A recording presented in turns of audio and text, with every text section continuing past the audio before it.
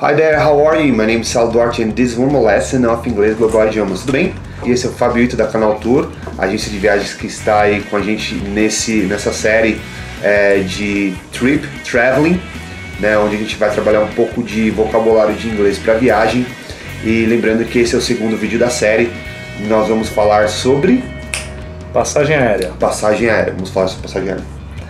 É isso aí. Aí, galera, sempre que vocês ah, ah, forem fazer a compra de uma passagem aérea, é sempre importante que vocês, ah, antes, de fazerem a, antes de fazerem a emissão efetiva, se atentem a alguns detalhes, principalmente as regras da tarifa.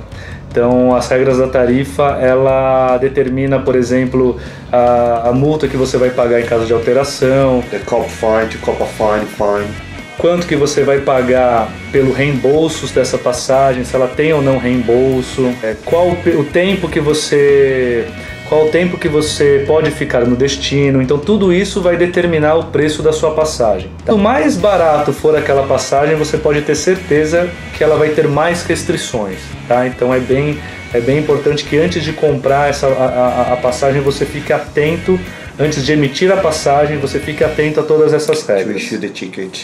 Isso.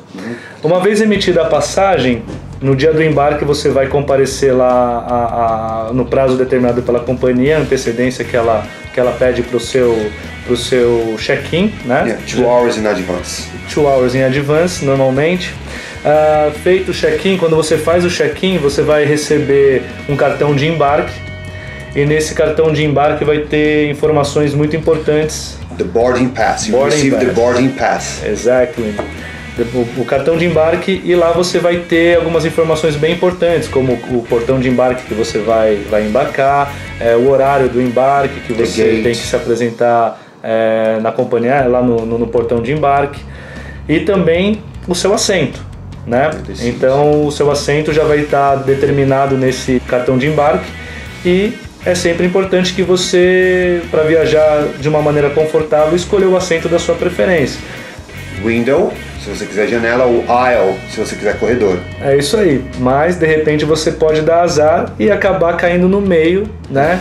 No assento do meio, que muita gente não gosta de viajar. You mas, can sleep beside. é, mas é isso aí. Então, Exatamente. Uma coisa também que a gente não pode esquecer é das luggages.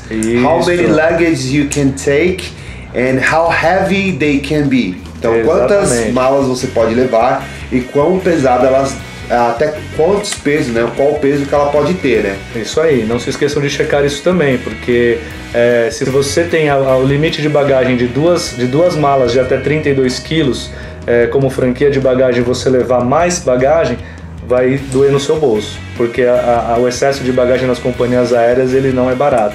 Então sempre preste atenção nisso também. So you need to weigh your luggages in advance. Então você precisa pesar as suas malas com antecedência para não ter esse probleminha depois. Isso aí. ok?